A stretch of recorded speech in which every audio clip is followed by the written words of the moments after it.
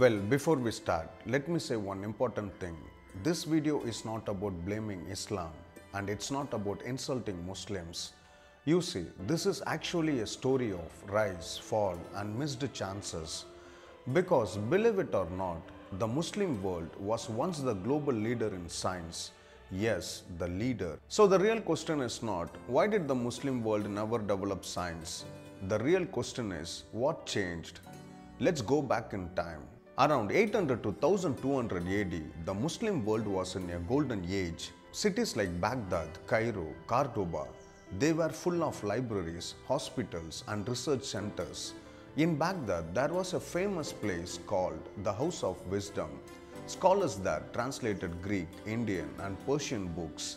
They didn't just copy them, they improved them. A mathematician named Al-Khwarizmi gave the world algebra. The word algorithm comes from his name. At that time, Europe was still struggling. So, what went wrong? Well, you see, science does not die suddenly, it slowly loses support. One big change was political instability. Empires began fighting each other. Power changed hands again and again. Then came the Mongol invasion in the 13th century.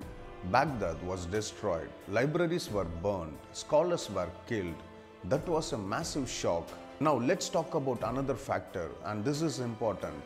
Over time, religious thinking became more rigid in some regions. Early scholars asked questions freely. Later, questioning started becoming risky. Science needs one thing above all the freedom to ask why. When questioning slows down, innovation slows down. Meanwhile, something else was happening. Europe was changing. They had the Renaissance, then the scientific revolution, then the industrial revolution. Europe invested heavily in universities, experiments, new machines. The Muslim world mostly did not. Then came colonialism.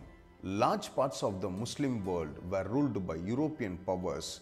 Local industries collapsed. Education systems were designed to produce workers, not scientists. Fast forward to modern times. Today, if we look at data, the gap becomes clear.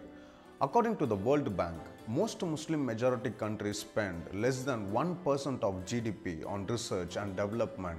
Compare that with South Korea, over 4%, Germany, around 3%, United States, around 3%. That difference matters. Another problem is brain drain. Talented students from countries like Pakistan, Egypt, Iran, and Indonesia often move to the US, Europe, Canada. They do great work there, but their home countries lose their talent. Also, many education systems focus too much on memorization, exams, degrees, and too little on experiments, critical thinking, research. Now, here is something very important. This is not because of religion itself. Islamic history clearly shows that science and faith can work together. The problem is politics, priorities, and systems. And here is the hopeful part. Things are slowly changing. Countries like Turkey, Malaysia, United Arab Emirates, Saudi Arabia are investing more in technology, universities, space programs. Young Muslims today are coding, building startups, doing AI research, working in global labs. So the future is not closed, but science needs long term commitment. It needs freedom, funding, education reform, and patience. So, when someone asks, why does the Muslim world lag behind in science?